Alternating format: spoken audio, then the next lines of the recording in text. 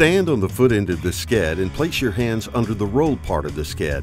Lift up on the roll section, causing it to unroll in your hands as you lift. Grasp the head end with one hand and move one foot to the side while standing on the sked with the other foot. Reach around the back side of the sked and fold it over your arm. Then reverse roll it against your body and drop it to the ground. Repeat on the foot end and the sked will lay completely flat. Unbuckle all straps and lay them to the sides of the sked. Make a ramp for dragging the patient onto the sked by folding a few inches of the end downward. This will prevent the patient's clothing from hanging up while being dragged onto the sked. Place the foot end of the sked at the head of the patient. Drag the patient onto the sked in line with his spine. If a spinal injury is indicated, use the Oregon spine splint or other suitable short device. On the battlefield, there may not be an immobilizer or cervical collar available. This is why dragging the patient in line with the spine is preferable. If the head is near an obstacle, place the head end of the sked at the patient's feet and pull the patient onto the sked.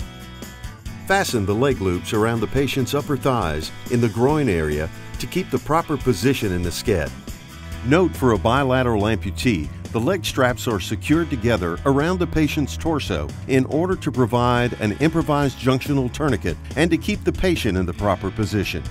Bring the shoulder straps over the patient's shoulders and fasten them on the opposite side of the stretcher, forming a cross over the patient's chest.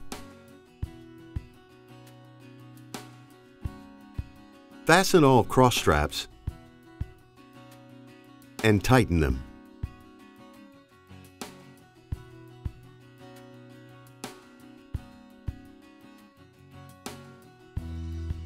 Tighten all harness straps, especially the leg straps.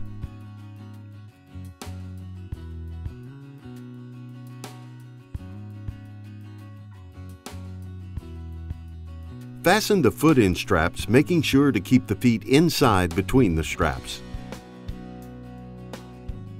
The carrying case for the sked can be rolled up and placed at the foot end or bottom of the sked. This will facilitate patient comfort.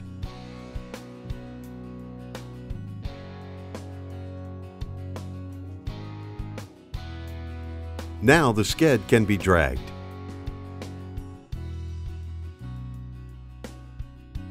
For a vertical lift, curl the head end of the sked above the patient's head by pulling down on the drag handle webbing. Next, tie it off on the second cross strap below the patient's head using an overhand knot.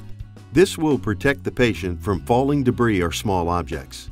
Then, secure the drag handle away so it isn't in the way. Release the triangular screw link from the grommet at the top of the sked and clip it into the hoist winch hook. Before hoisting the sked by helicopter, ensure a tag line is attached to the foot end to prevent litter spin, as all litters can spin during hoisting operations. When hoisting in the horizontal position, pull the head end of the sked up over the patient's head by pulling downward on the drag strap. Tie the drag strap over the second cross strap from the head end in an overhand knot. This will protect the patient. Then pull the horizontal lift slings under the sked and pass them into the 1.5 inch diameter round holes on the sides of the sked.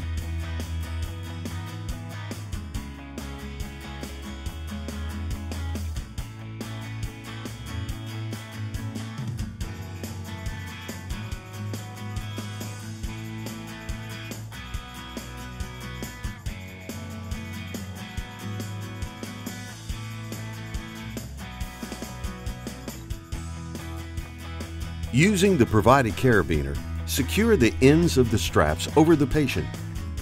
Insert the locked carabiner into the hoist winch hook.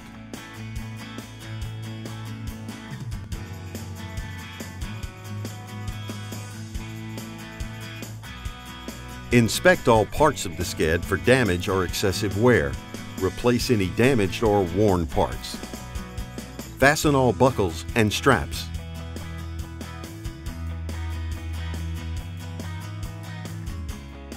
Start rolling the sked from the head end as tight as possible.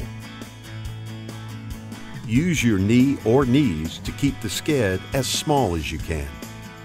Continue rolling it and when you reach the end, continue rolling over the extended straps until the straps encircle the sked. Fasten the Cobra buckles